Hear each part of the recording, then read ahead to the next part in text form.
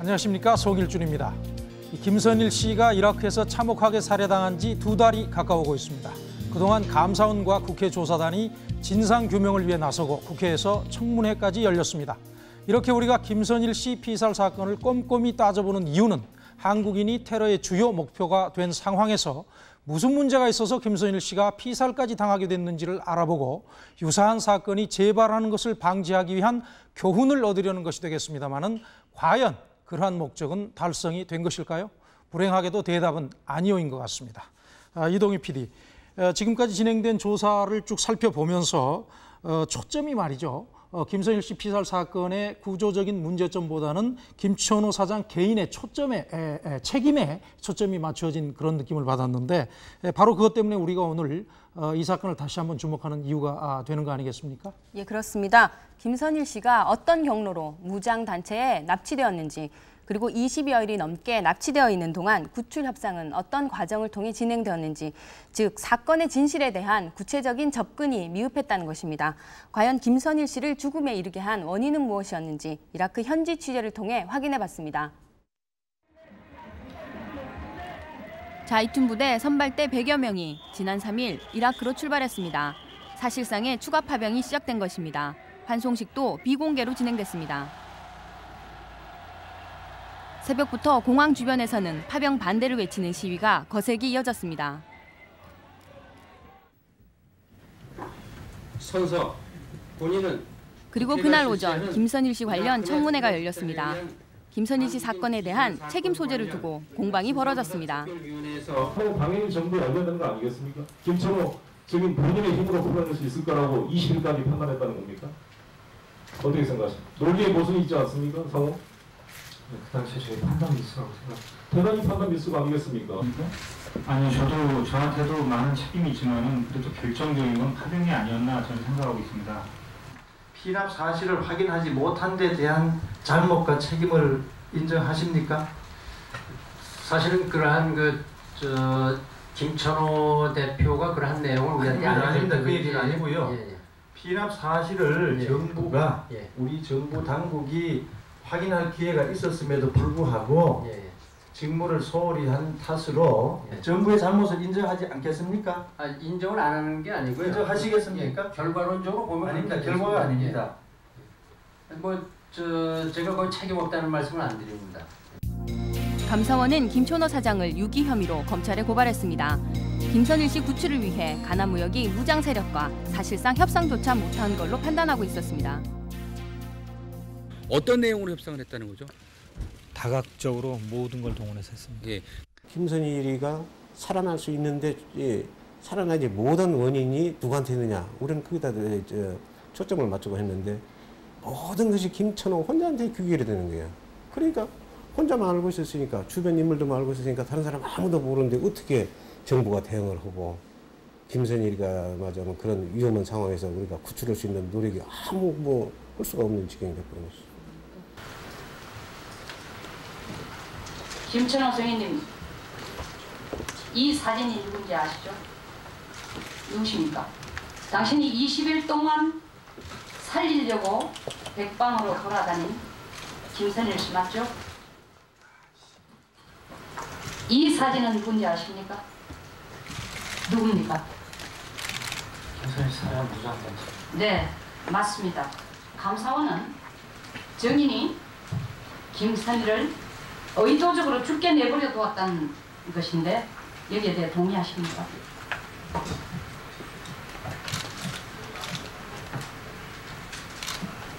저희는 김선일 씨를 구하려고 최선을 다했습니다. 무장 단체에 억류돼 있는 김선일 씨 모습이 처음 공개된 것은 지난 6월 20일.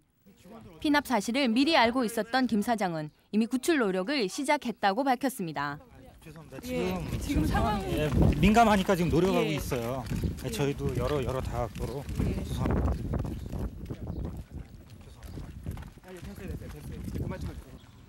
가나무역 이라크 현지 직원들과 자문 변호사인 이 씨를 통해 무장 세력과 협상을 진행 중에 있다고 했습니다. 팔루자 쪽에 아, 여러 가- 여러 무장 세력이 있습니다. 근데 그 중에서 가장 영향력이 있고 우리를 도와주려고 하는 그 무장 세력 과 접촉을 해서 그쪽 그쪽을 통해서 저희가 아, 김선일 씨를 구출하려고 노력을 했었습니다. 구체적인 명칭이 있는 단체인가요? 어떤가요? 그거는 조금 좀 제가 말씀드리기가 곤란합니다. 이 변호사라는 사람은 이라크에서 직접 청문회 때문에 온 거죠.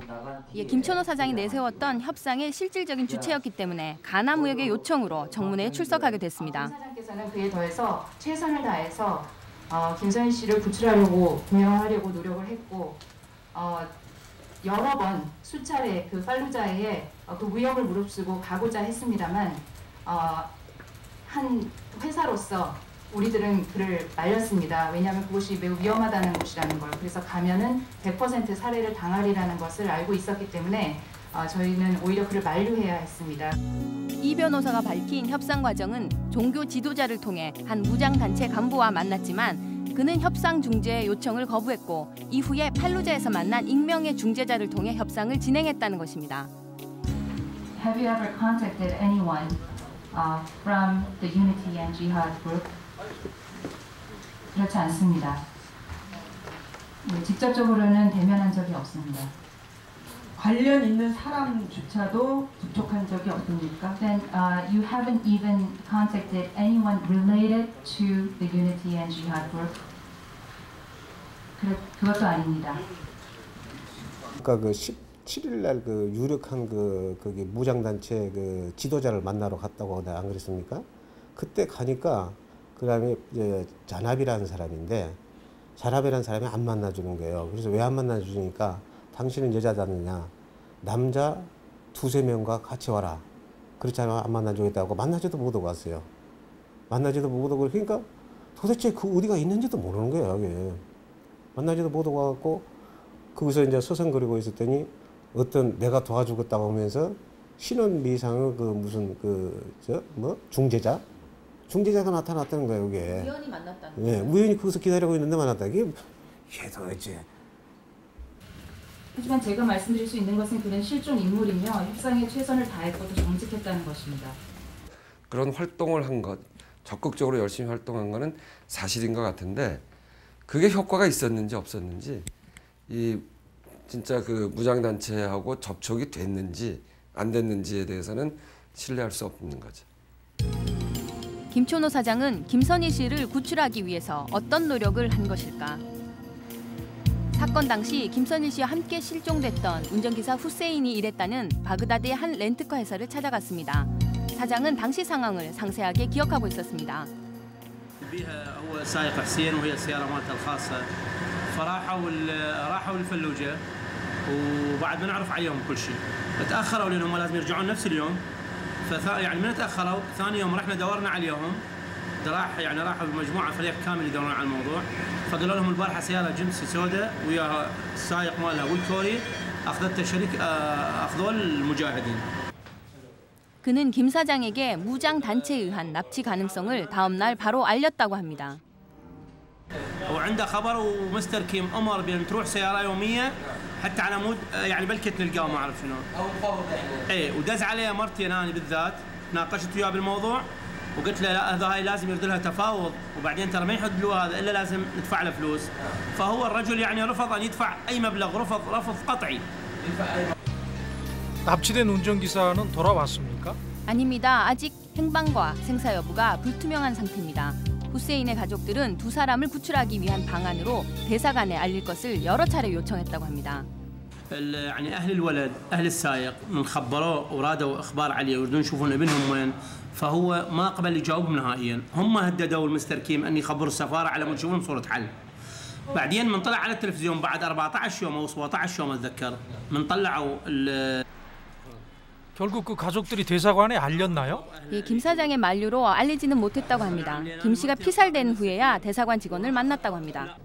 확인 결과 김선희 씨가 납치될 당시 팔루자 인근은 외국인이 접근하기에는 상당히 혼란스러운 상황이었습니다. 이 팔루자라고 하면 미군도 접근하기 어려운 이른바 저항 세력의 해방구지 않습니까? سألنا بعض أهالي فلوجة حينما كنا نبعث لهم مساعدات آه، لماذا آه، أبناء المقاومة يستهدفون الأجانب قالوا آه، على ما يذكر أبناء المقاومة في الفلوجة أنهم أمسكوا بأجانب يعملون كصحفيين وكانوا ي- يزودون الامريكيين بمعلومات وقالوا لدينا وثائق فبدات الفكره على ما يبدو بهذا السبب ان الاجنبي خطير وانه مصدر اذى للعراق فكانت هذه البدايه 네, 제가 그 김선일 씨가 피랍되는 50, 아니, 5월 31일 전에 이틀 전에 5월 28일에 마지막 팔루자 들어갔었는데 그 마지막 팔루자 들어갈 때 제가 이제 팔루자 출신의 현지 안내인 한 명, 그다음에 통역원 한 명이랑 같이 가려고 했을 때 이 사람들이 들어가려고 하지 않았었어요. 그 이전부터 물론 저는 계속 인도네시아 무슬림 여성으로 소개가 됐었는데요. 그 통역원이 어느 날 어, 바로 저한테 그 얘기를 하더라고요. 어, 한국인이라고 얘기하면 좋지 않을 것이다. 추가 파병한다. 너희 나라는. 쿠르드 자치구역인 아르빌로 최종 결정하였습니다. 김선일 씨가 억류돼 있던 시점 우리 정부는 추가 파병지를 최종 결정했습니다. 이 평화와 재건을 위한 파병이다 이렇게 강조하고 있는데 현지인들은 인정해주고 있습니까? 이라크인들은 전투병이나 비전투병 모두 점령군일 뿐이라고 말합니다.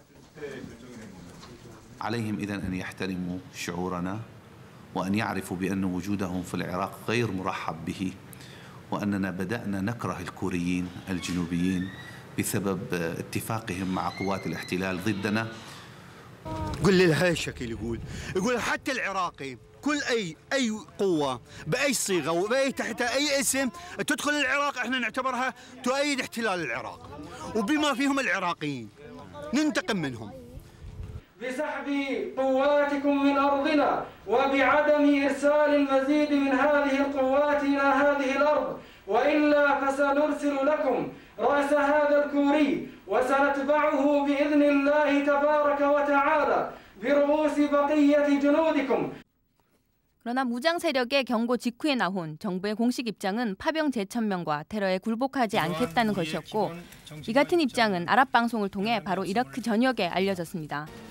أنها ستمضي قدما في إرسال ثلاثة آلاف جندي إلى العراق في فترة قادمة 미군조차 우리 정부의 입장이 매우 강경했다고 밝혔습니다. إلى الوزراء العراقيين the intentions of the Korean government I would refer you to the statements they have made uh, which have been quite strong to my understanding based on what I've seen in reports uh, but anything further I would I would refer you to them we obviously uh, want to uh, pursue this uh, ex- expeditiously as possible 그래서 우리가 뭐 테러에 굴복하는 인상을 줘서는 안 되겠죠. 어떤 인류 보편 가치의 원칙에서 용납할 수 있는 잔악한 행위이기 때문에 그러나 저는 뭐 외교 전문가가 아니기 때문에 반드시 그런 표현을 썼어야 한다는 의문이 있습니다. 이 저항 세력들의 지금 심정은 정말 죽음을 불사하고 이슬람교와 이라크를 지키겠다는 것이거든요. 외국 군대로부터 어, 그런 어떤 심정에 있는 사람들에게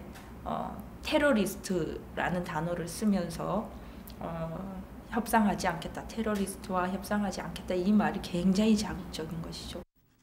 사건 직후 현지 공관에서는 김선일 씨를 억류한 무장 단체에 대한 기본적인 정보조차 파악하지 못하고 있었습니다. على ما حصل لمواطنيكم آه، الكوري الجنوبي في العراق How are you? So 이 같은 상황에서 알자지라 방송을 통해 한국군의 파병이 이라크의 평화 재건을 위한 것임을 호소하는 목소리는 정부의 파병 강행 방침을 재확인하는 역효과를 가져왔다고 합니다.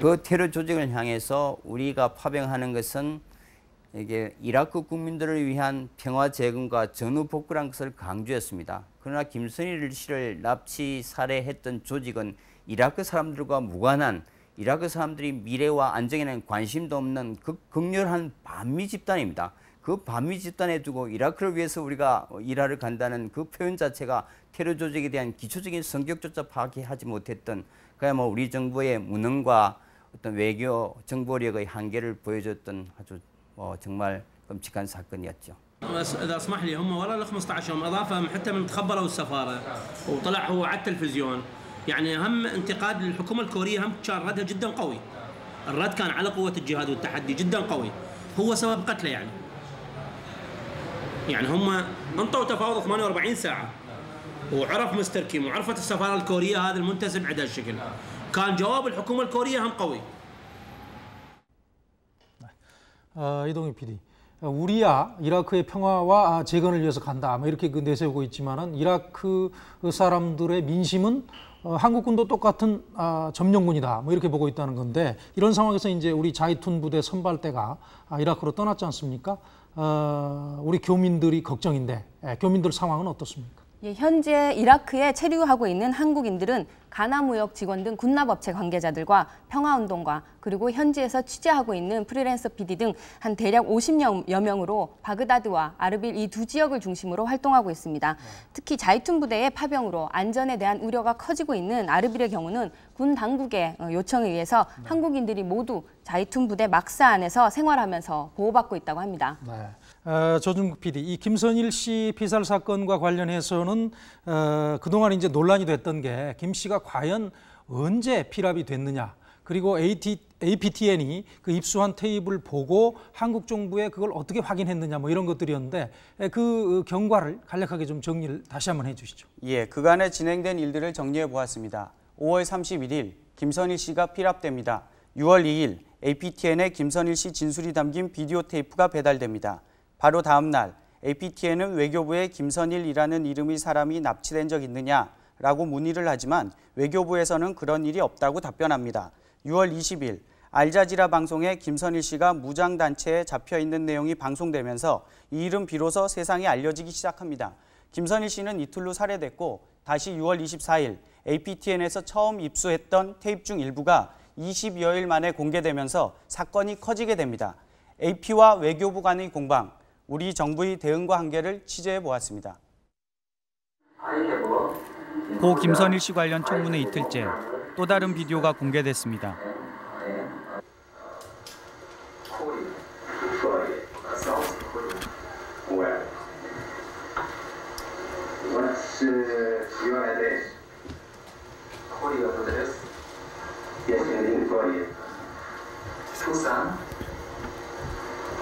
What's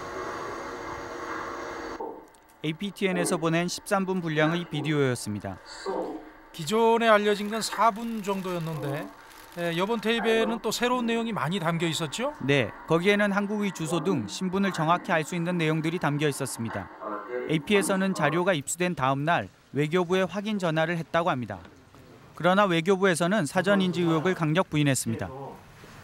김선일이라는 이름을 들은 기억이 나지 않는다고 말했습니다.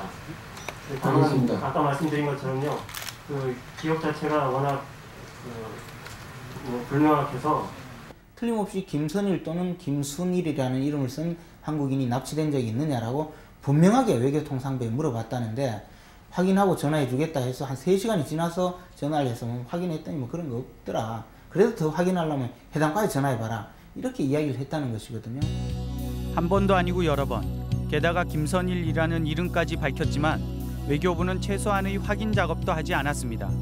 AP에서 공식적으로 어, 발표한 자료에 의하면은 세 차례를 걸었다는 겁니다. 전화를 세 번. 저는 전화를 몇 번 받았는지 모르겠어요. 모르겠다. 전화를 받은 일도 기억나지 않는다. 김선일이라는 이름을 들은 적도 없다. 외교부는 거듭 부인했습니다. 그러나 AP 기자가 출석하면서 사정이 바뀌었습니다. 동료 직원한테 기자분한테 가서 네.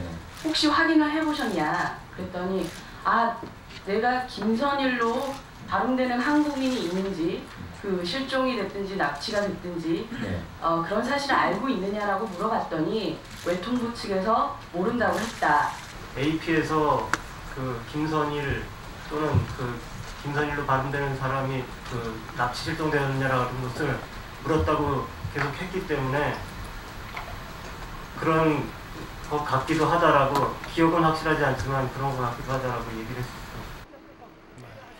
이 외교부가 조금 더 적극적으로 확인했으면 비극적인 일은 막을 수도 있지 않았을까 싶은데 이 당시 이라크 상황은 외교부가 그런 전화를 예사로 넘기기에는 너무나 위험하지 않았습니까? 그렇습니다.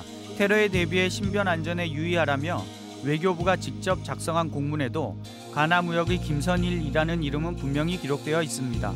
왜 서구 서수경 기자의 이렇게 중요한 답변에 대해서 성실하게 답변하지 않았습니까? 이거는 그 자, 저도 됐습니다. 아까 질문으로서의 그 비중을 두기가 어렵, 어렵다는 판단을 했었어요. 어떻게 이라크에 납치된 그런 실종자의 이름까지 검명하는데 그것이 비중이 없는 질문입니다. Uh, three days ago, I came here Fallujah uh, because uh, I uh, my boss talked to me. You go there and uh, you deliver. uh, 지금 그 3일 전에 팔루자에 왔다라고 분명하게 말하고 있지 않습니까? AP에 테이프 배달된 게 6월 2일이니까 따져보면 피랍 시점도 어렵지 않게 파악할 수 있었을 것 같은데 이것 때문에 그동안에 얼마나 논란이 많았습니까? 네, 확인하려면 쉽게 파악할 수 있는 상황에서 테이프가 왜 그렇게 소홀히 다뤄졌는지 이라크 바그다드 APTN 지사를 찾아가 봤습니다. Oh, so you just received the tape and Yeah, I then was just they, registered tape and they did the investigation. Ah. There was no report on a missing Korean. No one has claimed kidnapped any Korean. That's why we didn't really pay attention at the time. 몇 명이 먹어요, 몇 명. 몇 명이? 네, 그, 그걸 조금이라도 본명이 몇 명 되더라고. 한, 한 세네 명, 세, 두세 명 되더라고, 보니까. AP가 예. 김서희가 나온 비디오 테이프, 그 비디오 테이프 안에 미국, 미국 사람이나 유럽 사람이 들어가 있었으면 AP가 이런 식으로 이 기사를 식으로 지급을 했겠나. 그런데 취재 말미에 지금까지와는 전혀 다른 얘기를 들을 수 있었습니다. 바그다드 한국 대사관에도 문의를 했었다는 것입니다. you asked the Korean embassy?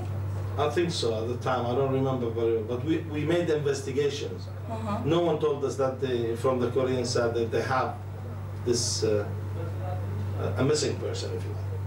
Yeah, that's true. So South Korean government didn't you know, recognize there was someone one that was one Korean man was missing.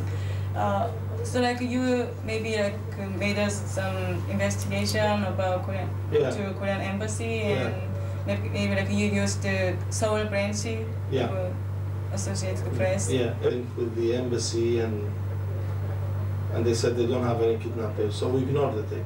But then later we understood that this guy was really kidnapped. 그 사실 자체가 아니라는 거죠. 아무- 전화한 것도 없고 바그다드 지국에서 contact한 적도 전혀 없는데 지금 그렇게 자신 있게 얘기할 수 있는 겁니까? 예 그렇습니다. 그래요? 예. 이 한국 대사관에 연락이 됐다고 한다면은 이건 처음 알려진 사실이고 그 책임도 굉장히 클 텐데 말이죠. 예. 하지만 알자지라 방송이 나간 후에 피납 사실을 알았다는 게 대사관 측의 일관된 주장입니다. يظهر فيه شخص كوري جنوبي اختطف من قبل جماعة مسلحة تسمي نفسها جماعة التوحيد والجهاد وقال المختطف أن الرهينة في الشريط أن تمتنع حكومة سول بإخراج قواتها من العراق والامتناع عن إرسال قوات إضافية 저 어, 뭐, 어, 안전하게 석방될 수 있도록 하여튼 최대한 노력하겠습니다. 어떤 구체적으로 뭐 미군 협조를 한다든지 아니, 그런 아니, 거 제가 구체적으로 어, 얘기는 할 수는 없고 예. 하여튼 어, 무사하게 석방될 수 있도록 어, 지금 과학적으로 제, 예, 노력하겠습니다. 알자지라 방송을 통해 무장단체들이 김 씨의 목숨을 담보로 유예한 시간은 24시간. 주 이라크 대사관은 정부 외교 라인을 총동원해 협상에 나섰다고 합니다. 대사관에서 그분을 좀 만나보는 게 필요하겠다. 그래서 그 추천한 사람이 여러 사람이 있었습니다. 그러나 그 사람이 역시 중요하다 싶어서 전화를 제가 여러 번 했는데 통화를 결국 못했어요. 이메일을 추천받은 영향력 있는 신부와는 아예 연락조차 안 됐다고 했습니다. 그러나 한 의원이 보낸 이메일에는 2시간 만에 답장을 보내왔습니다. 외교 라인을 총동원해 대사관이 24시간 동안 했던 노력의 전부입니다. بالنسبه لل قلت يعني منقطع الضحيه وهاي يعني هل جاتكم مثلا بالنسبه لاختطفوا الضحيه الكوري جاتكم جهات طالب باطلاق صراحه من عن طريق اي واسطه؟ نعم مع الاسف يعني لو كان طلب منا انه مثلا انه تدخل لكن انت يفترض ان تعلم الجهه المسؤوله يعني عن تنفيذ مثل هكذا الاعمال، نحن نرفض مثل هكذا حالات. 사실은 인맥 구축이 저희가 약했습니다. 대사관이 이제 그 개설돼서 6개월 됐는데 인맥 구축이 약한 점은 사실입니다.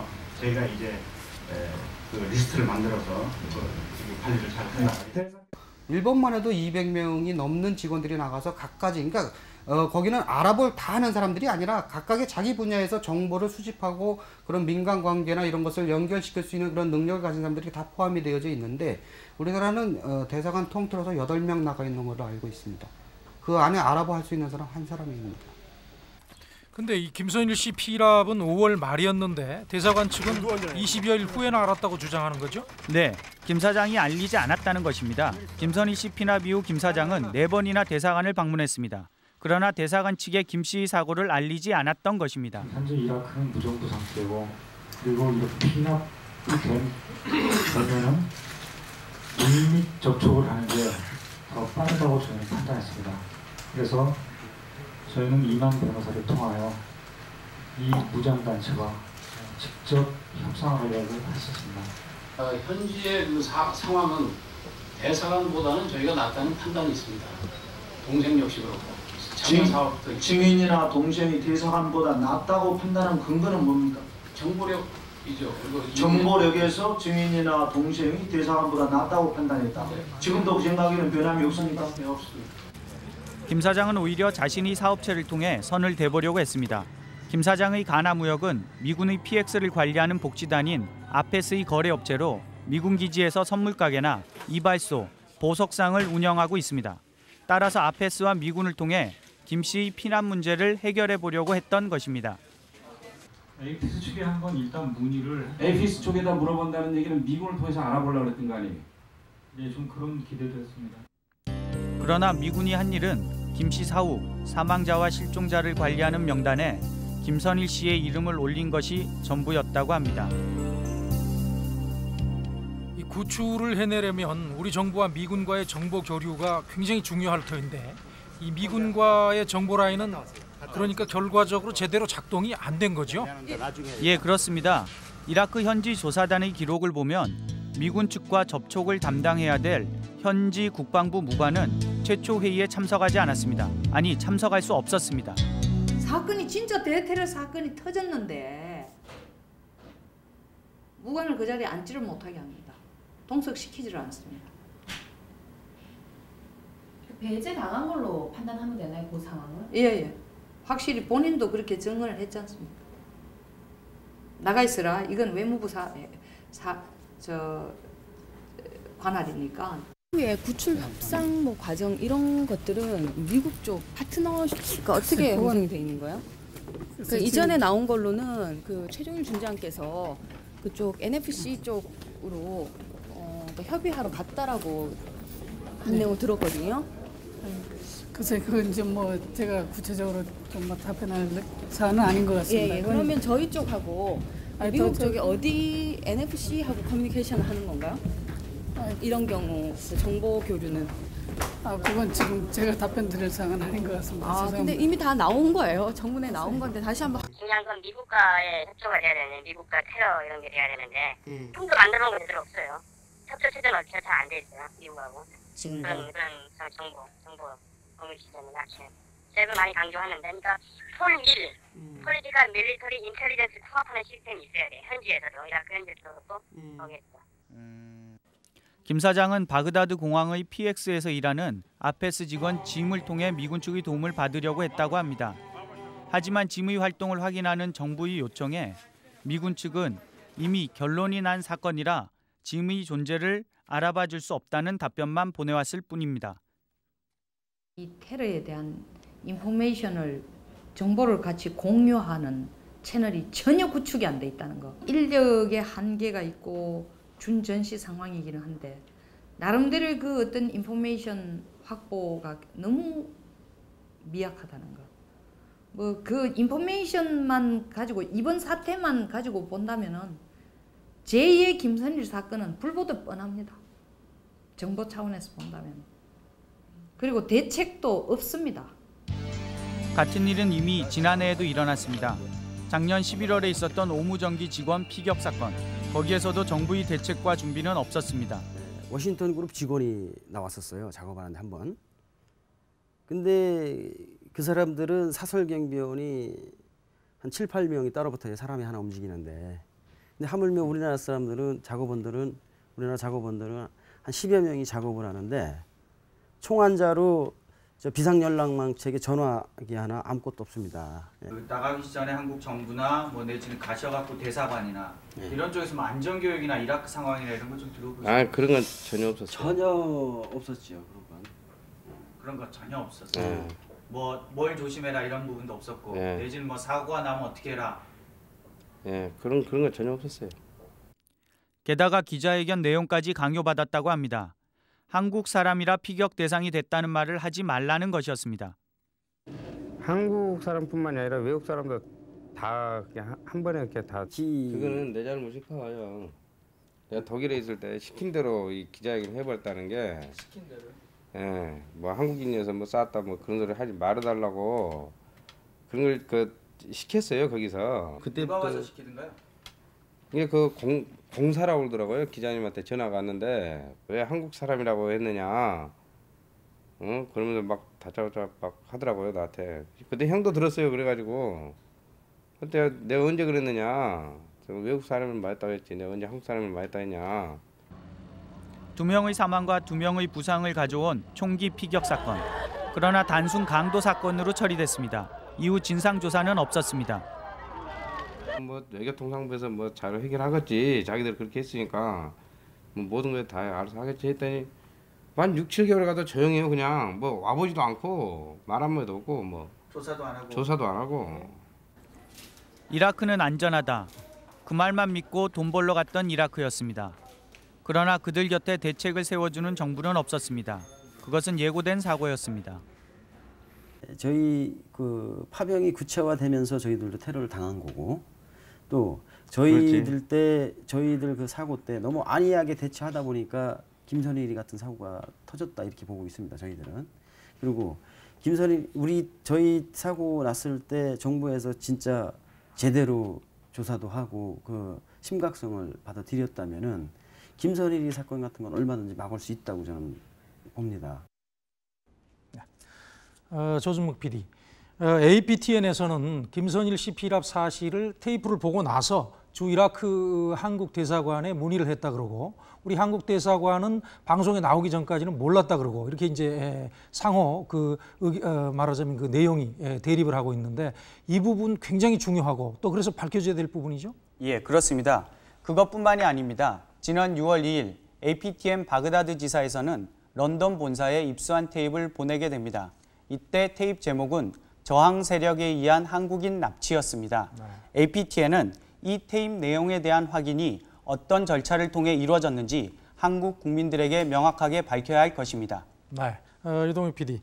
어, 최근에 정부가 아, 우리 국민들에게 위험 국가로의 여행을 자제하라 뭐 이런 그 어, 발표를 하고 그렇지 않았습니까? 근데 이제 이런 대책이 나오게 된 것이 예, 우리 한국군의 이라크 추가 파병을 계기로 해서 어, 중동 국가에서 아, 한국인을 상대로 한 테러가 발생할 가능성이 상당히 높다. 뭐 이런 분석 때문이라면서요?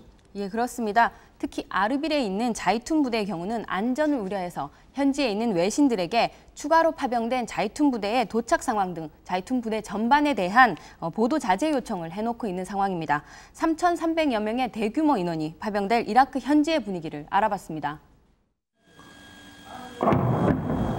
바그다드의 치안 상황은 날로 악화되고 있습니다. 외국인들을 상대로 하는 납치 단체들도 크게 늘어났다고 합니다. 사설 경호원이 없으면 외출도 자유롭지 못한 상황입니다.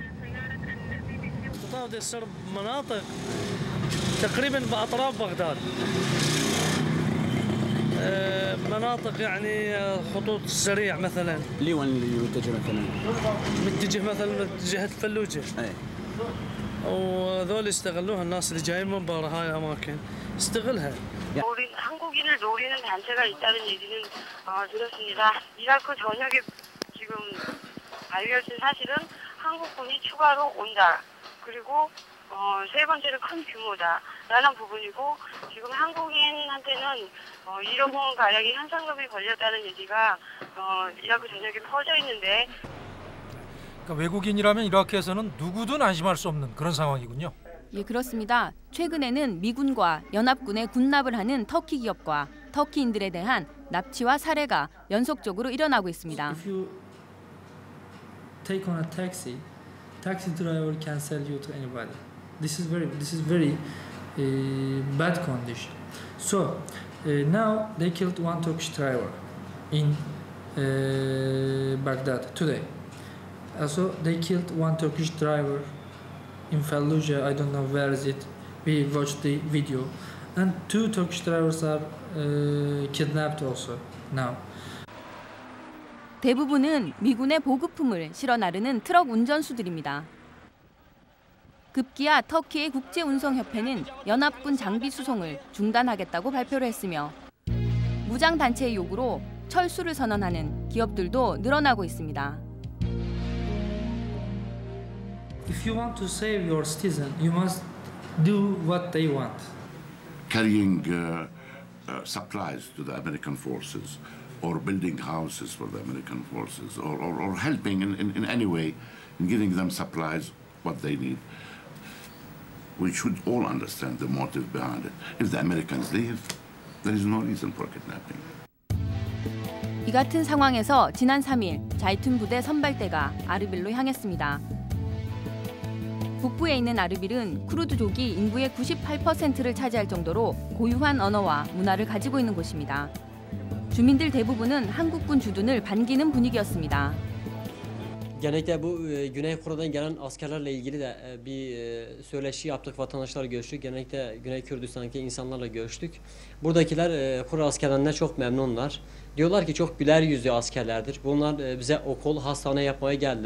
e, e, e, e.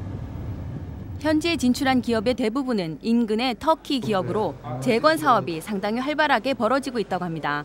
이들도 치안에 대해서는 안심하고 있는 분위기였습니다. Özellikle Erbil ve Kerkük bizim için çok güvenli. Ee, hiçbir sorun yaşamıyoruz. İşçilerimiz gayet huzur içerisinde çalışmaktalar. 그러나 정작 문제는 이 지역의 불안한 정치 상황입니다. 쿠르드족의 독립을 주장하는 테러 조직에 의한 터키계 정치인들을 대상으로 하는 각종 공격이 끊이지 않는 데다 최근에는 미군의 협조적인 쿠르드 지역에 대한 아랍계 저항 조직의 테러 가능성도 제기되고 있습니다.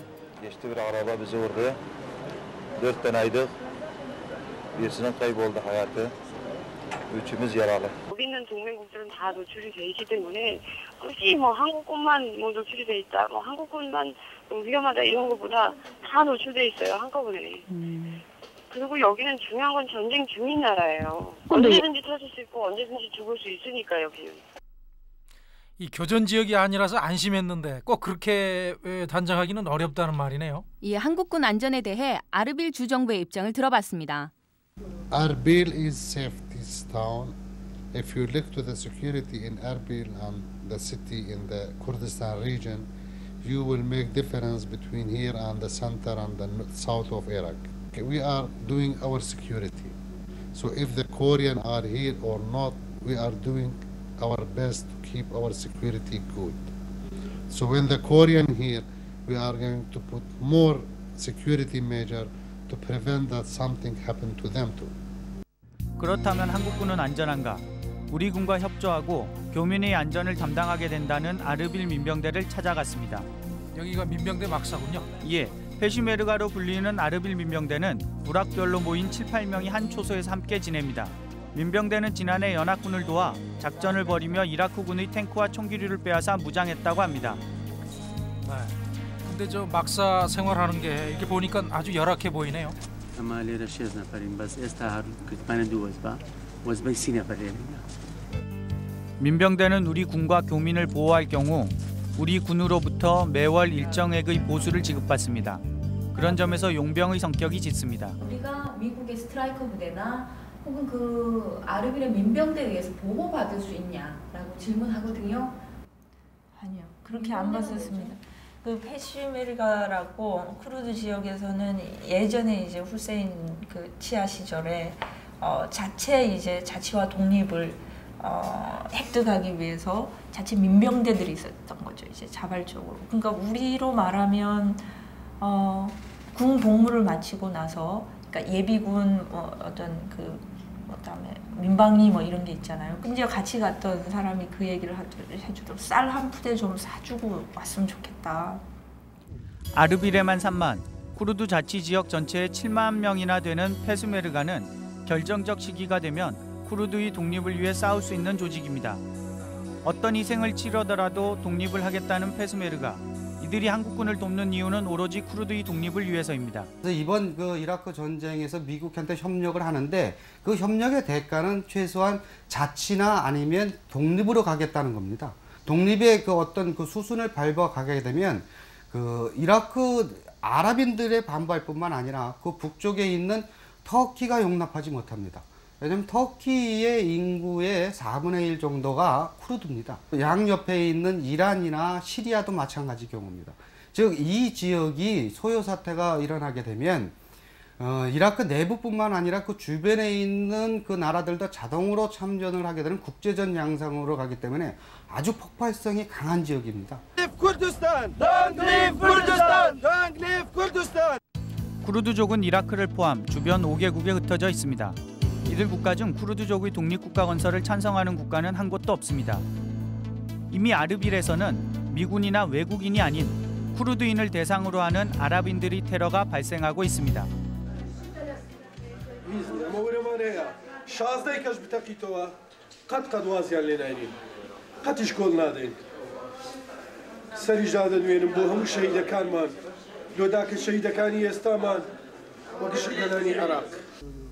아르빌로의 파병과 이라크의 재건은 서로 다른 성격이라는 것에 대해 정부는 얼마만한 준비를 했을까?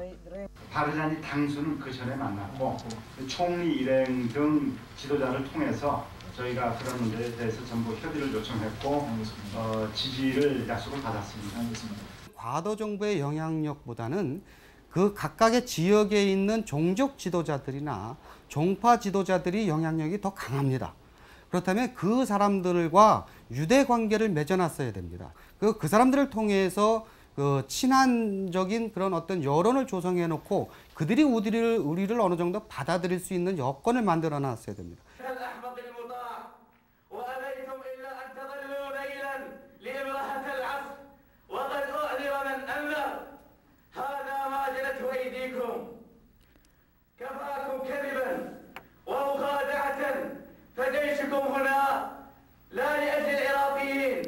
김선일 씨의 죽음은 이미 이라크에서는 한국 파병의 또 다른 얼굴로 널리 알려졌습니다.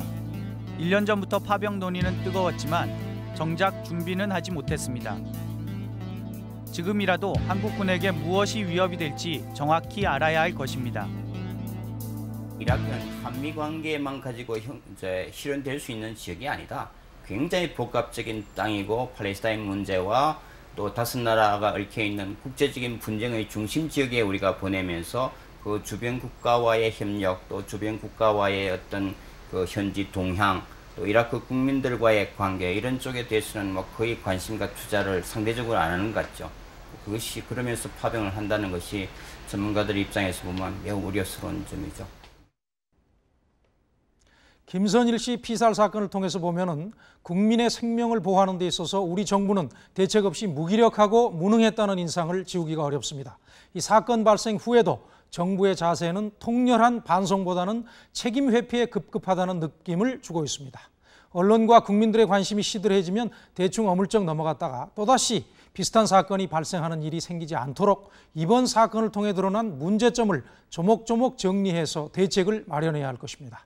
그리고 나서 정부가 국민들에게 자기 안전은 자기가 지키려는 의식이 중요하다고 말해야 그것이 더 설득력이 있지 않겠습니까? PD수첩 오늘은 여기서 마치겠습니다. 감사합니다.